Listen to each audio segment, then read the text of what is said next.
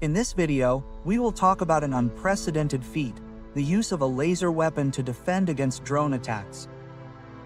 How Israel took a laboratory project and transformed it into a weapon in such a short time.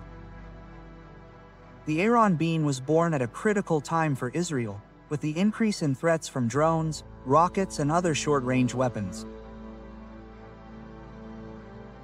In response to these challenges, Israeli defense industries, led by Rafael, came together to create a truly revolutionary solution, the Iron Beam, with a very clear objective, to provide precise, cost-effective and rapid defense against short-range aerial threats. However, it was during Operation Iron Swords in 2023 that the Iron Beam was effectively put to the test for the first time. In response to the war started by Hamas in October 2023, the Lebanese Hezbollah launched one of the largest drone and rocket attacks in recent years. And it was precisely in the midst of this massive attack against northern Israel that the Israel Defense Forces, with the support of Rafael and other agencies, accelerated the implementation process, putting the Beam into operation with impressive speed, taking only 18 months from its conception in the laboratory to its use in real combat. The rapid implementation of advanced defense technologies in Israel is nothing new. And a clear example of this was the Iron Dome, which revolutionized defense against rockets and small caliber artillery.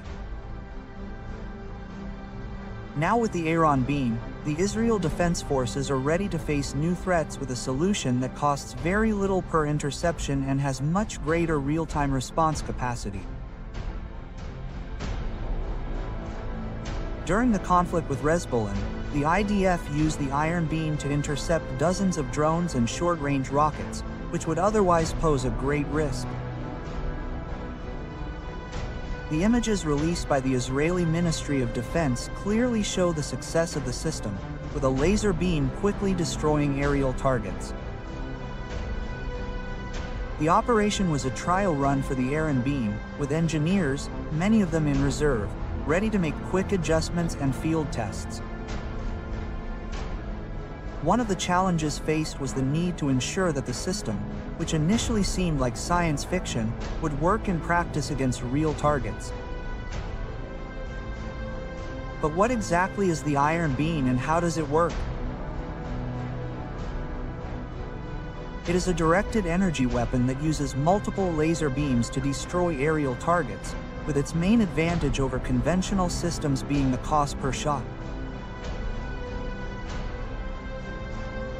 While air defense missiles, such as those used in the Iron Dome, can cost up to $1,000 per intercept, each shot from the Iron Beam costs only a fraction of that, or around $100.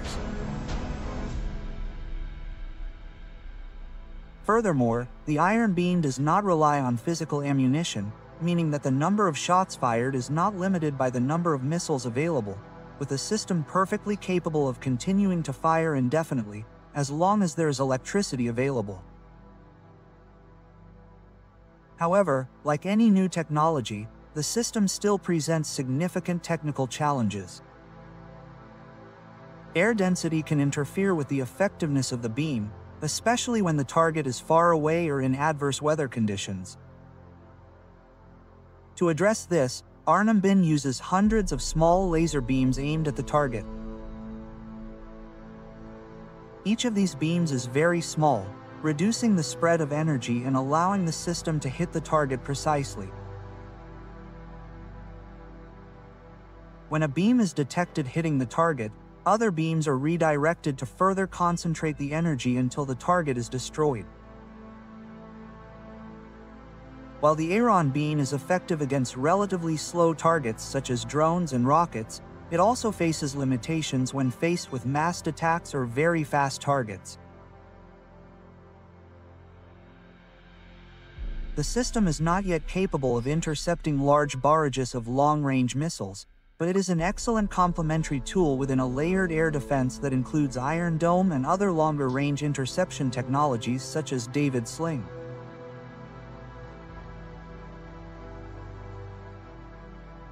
The introduction of the Iron Beam marks a strategic shift in the way Israel approaches air defense, with the system going far beyond being a mere response to current threats and representing a true paradigm shift in national defense.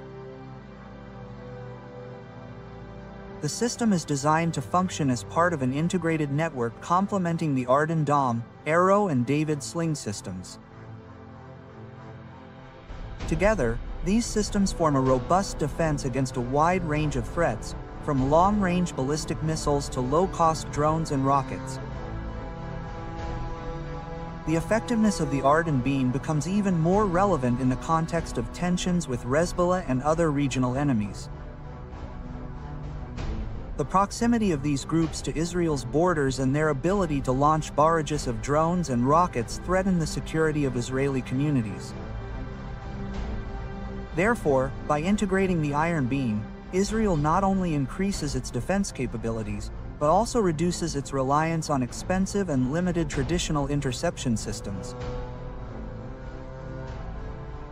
The future of the Iron Beam looks bright, with plans to expand the system's capabilities in a variety of combat scenarios, with one of the next steps being its integration into more advanced versions, such as the Naval Beam, designed to protect Israeli naval vessels from airstrikes and anti-ship missiles.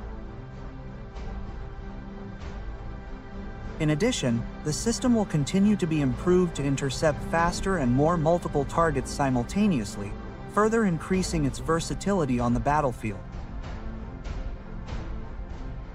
Israel is also developing smaller, lighter versions of the Iron Beam, such as the Light Beam, which can be mounted on light vehicles and used in mobile operations, providing a dynamic defense against drones and other short-range aerial devices. The Iron Beam represents more than just a technological innovation. It epitomizes Israel's ability to respond quickly to new threats with creative and effective solutions. For the first time in the modern history of warfare in the Middle East, Israel will have a defense that is cheaper than its offensive means. Whereas previously groups like Hamas and Hezbollah launched 100-ton rockets that needed to be intercepted by $1,000 missiles, Israel can now defend itself against these threats with concentrated energy pulses of just $1,000. And in addition to the cost reduction, the Israelis will no longer have to worry about shrapnel from Iron Beam missiles falling on urban areas. After interception, modern warfare is transforming and technologies like Iron Beam are a reflection of the changes that are coming at an ever-increasing pace.